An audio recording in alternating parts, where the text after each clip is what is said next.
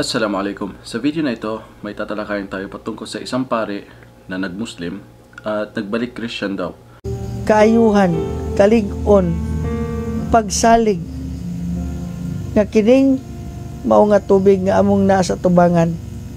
Yung isang araw, may nabasa akong comment dito sa Facebook, ah, dito sa ano natin, YouTube. At ah, may sinasabi siya na gawa ng reaction video at may tinutukoy siyang Bro Dave. Nakalimutan ko lang i-search kung sino yung sinasabi niya. Kahapon sa Facebook, may nakita tayong isang post na may nag-share patungkol sa isang pare na nag-Muslim at ngayon ay nagbalik Christian. So, hindi tayo basta agad na parang marites na ah, husgahan agad yung tao na baka chika lang yon or may nag-share sa kanya o sinisiraan lang siya. So, chinek natin mabuti. Pinuntahan natin yung personal account niya at nakita nga natin bro Dave. Ah, active pa yon mga November lang, nakaraan ng isang buwan. Last month lang yon yung mga bagong post niya na may patungkol na sa Christianity tulad yung mga t-shirt at ang isa pa, nakita natin yung picture na balbas niya, inahit niya. At sinabi pa niya, bye for now. At meron pang live na nakita ko sa share ni brother uh, Khalid Sanchez na nakita natin yung live na ito ay last month lang. Mag ampo kita sa tong langit ng amahan ang iyang gitudlo diri kanato sa atong Ginoong Hesus. Ang pag-ampo sa amahan namo. Sa ngalan sa amahan, sa anak, sa Dios, Espiritu Santo. Amen.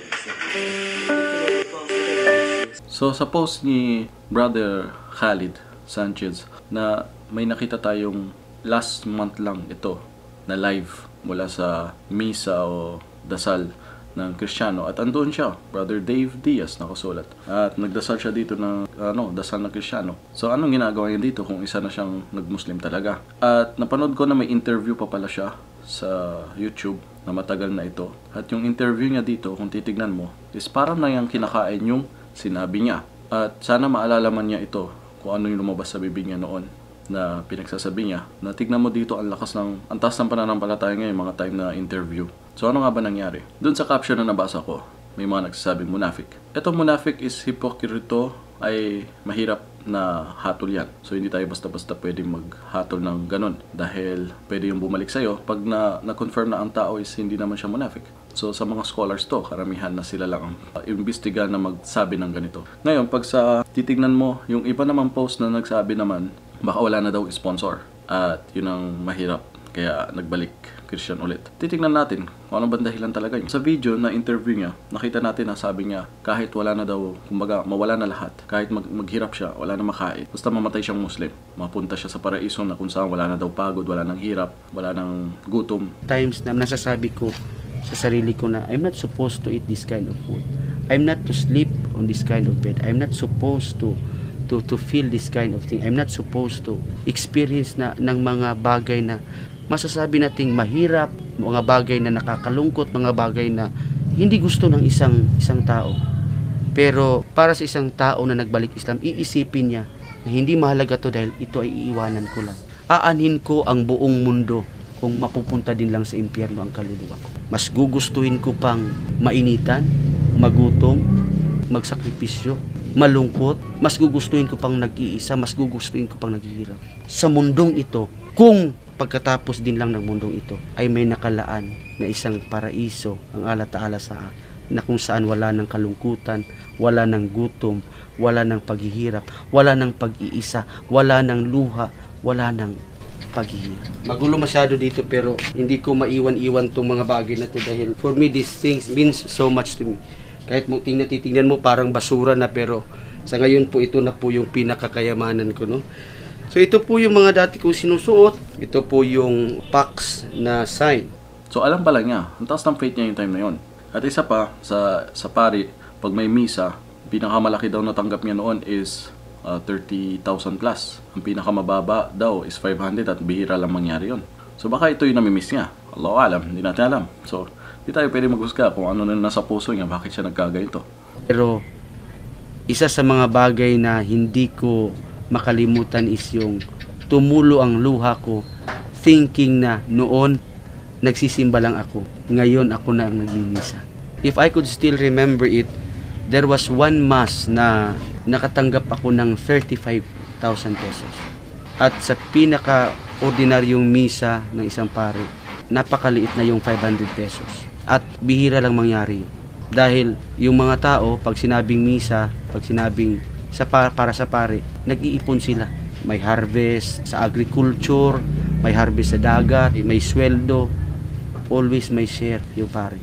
Dahil tinuruan din sila namin noon na kung anumang blessing ang matanggap nyo, dapat matuto kayong mag-give back.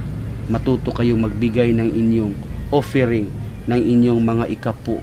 Kaya ang mga tao, dahil sa naniniwala sila sa pare, nirerespeto nila ang pare, nakikita nila ang pare as alter Christus kasi yan yung term ng mga pare. We are branded as alter Christus meaning another Christ. So, every time nakikita ang pare, para nakikita na din nila yung yung Panginoon. Kaya ganun na lang ang paniniwala ng mga tao sa pare. May kinalaman ba sa financial, sa pera? Ah, wala na bang sponsor? Wala na mga Saudi kasi nagpapadala sa iyo para mag-preach o magpahayag ng Islam? Well, tayo dapat kahit wala tayong natatanggap, hindi yan ang nagpapagana sa atin. Dahil ang mga propeta ni wala nga natatanggap na sweldo sa pagpapahayag ng Islam, eh, no? Dahil nasa kabila ang reward natin.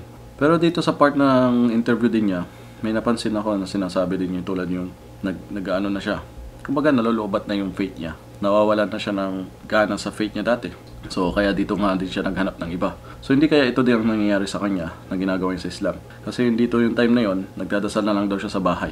No? Nawawalan na siya ng interest sa dating faith niya. So, nag, nag, nag-ano na siya, nangihina o nagdududa o something.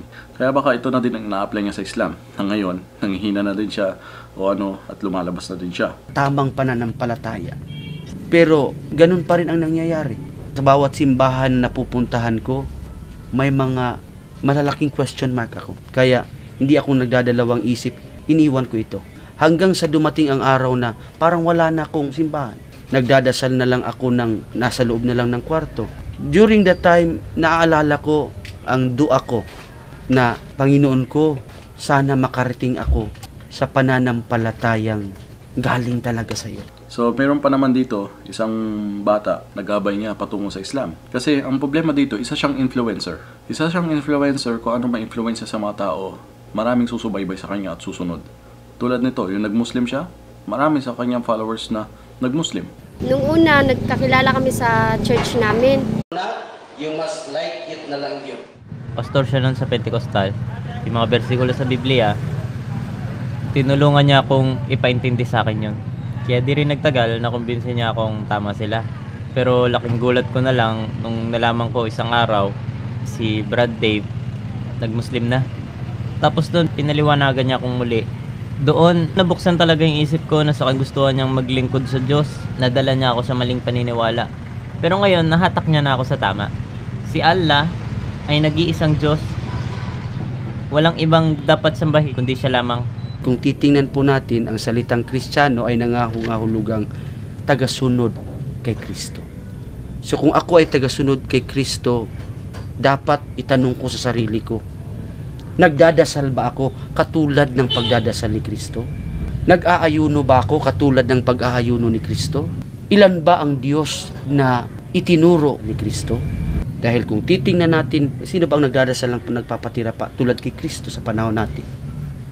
Sino ba sa atin ang nag-aayuno ng katulad ng pag-aayuno ni Kristo?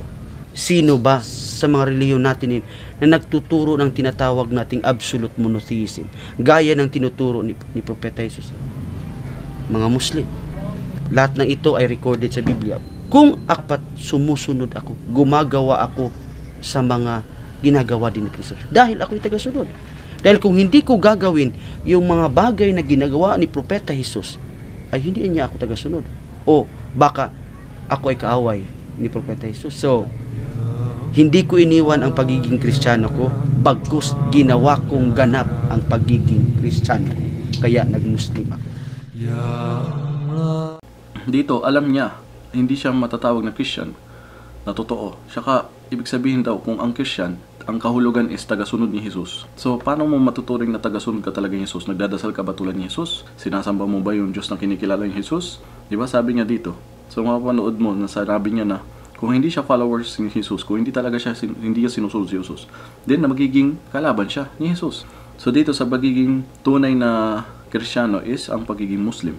Dahil ang mga Muslim lang ang sumusunod talaga kay Jesus. Ang sumusunod at nagmamahal at nagrespeto talaga kay Jesus. Na hanggang ngayon, imagine, walang imahe si Jesus sa Islam.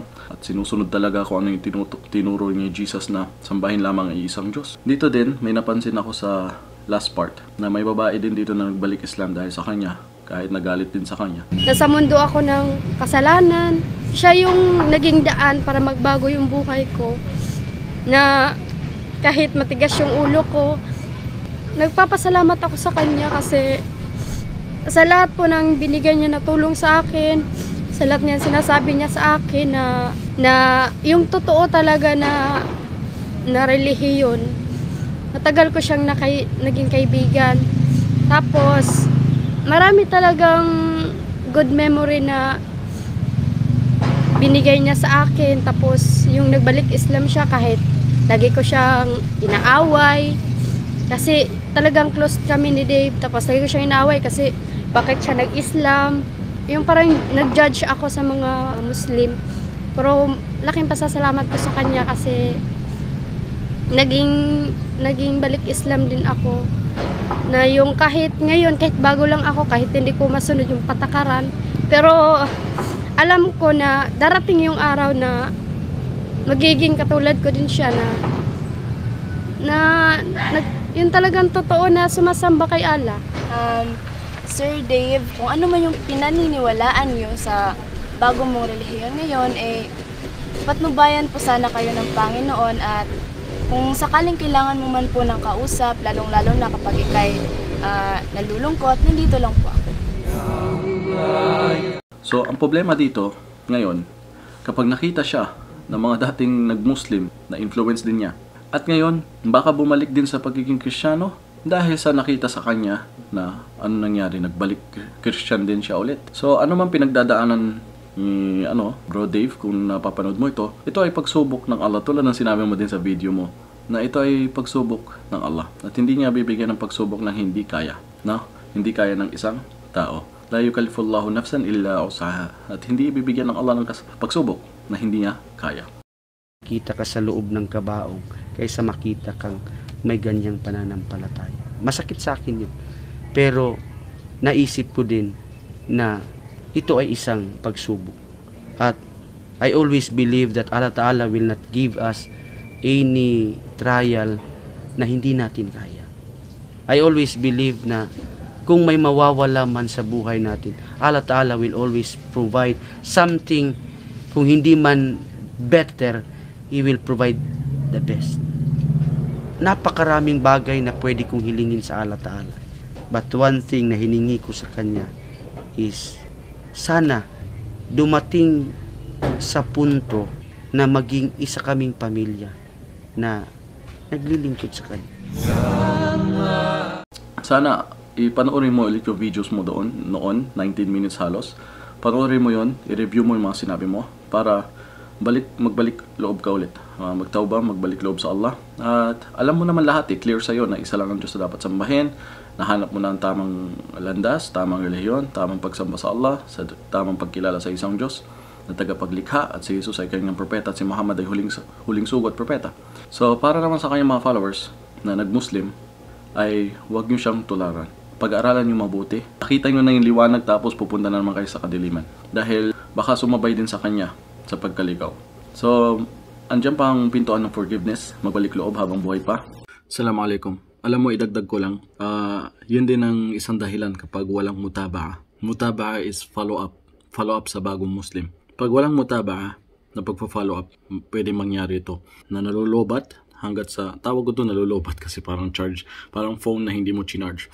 So, na nangihina ang pananampalataya niya dahil sa kakulangan ng, kakulangan ng follow-up uh, pag-aaral sa Islam. So, ang isang Muslim hindi pwede basta shahada na lang. No? Shahada pagsasaksi lang. Tapos, after nga, iiwanan mo na. Kailangan yung follow-up. Kaya sa atin, alhamdulillah sa amin, kahit mapa social media lang, pag may nang Muslim, ay meron kaming group, iba pa yung GC at iba pa, iba pa yung public group na andun lahat yung mga nag-Muslim, nafa-follow up sila, kinukumusta sila, chine-check, nakakabasa pa rin sila ng mga posts about Islam at uh, nag, nakakapag-live. Na, na-check pa rin sila, alhamdulillah. Yun yung importante sa lahat din, mutaba, follow up sa bagong Muslim para hindi din magkaganito. Okay? So yung mga ibang nagbe-die dyan, nagpe-preach, sana hindi puro basta shahada lang. I-follow up nyo, nakalista ang pangalan, number, address, lahat. Sa amin ganyan, para madaling pwedeng puntahan sa future, pwede kontakin sa future, andyan ang number, uh, andyan ang, nasa group siya ng messenger, uh, hiwalay lalaki at babae, tandaan nyo. At iba din dun sa may public pay, public group page namin. Private siya pero marami doon halo-halo na kasi post lang ang nakikita nila lahat ng post namin. At makapag-comment sila kung may mga tanong sila. Yun ang pinaka-importanting mahalaga. Inshallah.